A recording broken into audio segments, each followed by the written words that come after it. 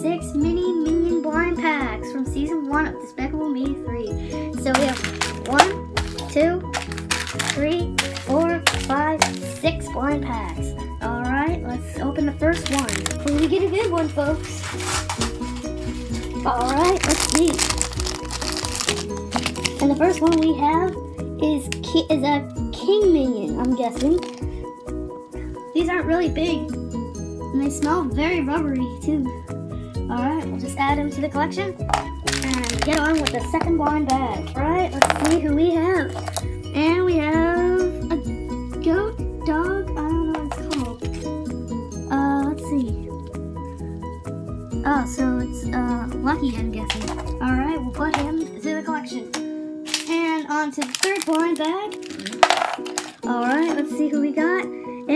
A crook minion, a criminal minion. Alright, we'll set him aside to the collection. Now, on to the fourth blind bag. We have another cheesehead minion. Alright, now on to the fifth blind bag. Alright, let's see who we got.